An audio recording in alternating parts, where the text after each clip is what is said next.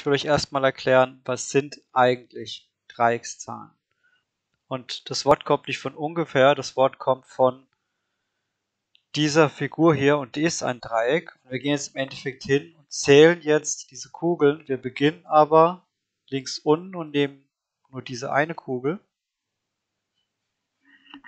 Dann würden wir jetzt sagen, die erste Dreieckszahl ist die 1. Und wenn wir jetzt die nächsthöhere Dreieckszahl haben wollen, dann muss ich 1 plus 2 rechnen. Und jetzt kriegen wir auch dieses System, weil das nächste Dreieck ist dann dieses hier.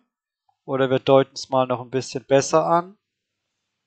Diese hier zusammen ergibt dann die nächste Dreieckszahl und danach würden wir dann gerade so weitermachen.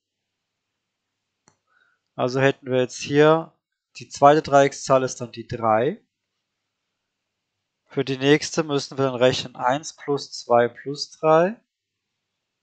Das ist dann im Endeffekt die 6. Das wären dann quasi all die Dinger hier. Und jetzt sieht man auch langsam, was ich meine. Das Dreieck wird dann immer größer, das wir dann nehmen. Und jetzt müssen wir die nächste nehmen. Und das wäre ja eigentlich 1 plus 2 plus 3 plus 4. Also wäre es doch jetzt eigentlich schlauer und zeitsparender, wenn wir einfach direkt 6 plus 4 rechnen. Dann wäre die nächste nämlich 10. Jetzt würde bei der nächsten, bei der fünften Dreieckszahl 5 dazu kommen, also 10 plus 5 sind 15. Bei der nächsten würde 6 dazu kommen, also sind wir bei 21. Und hier können wir jetzt auch eine wichtige Regel ableiten an der Geschichte. Ich schreibe euch die Regel mal hin und dann erkläre ich sie nochmal.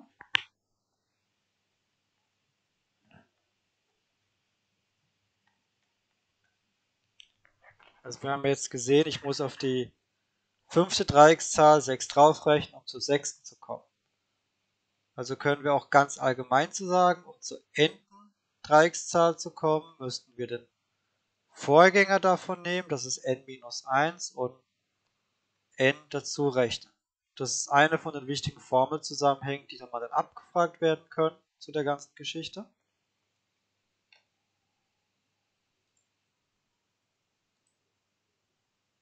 Die zweite wichtigste Formel, die wir dazu auswendig können müssen, ist, es gibt tatsächlich eine Formel, mit der wir die nte Dreieckszahl direkt ausrechnen können.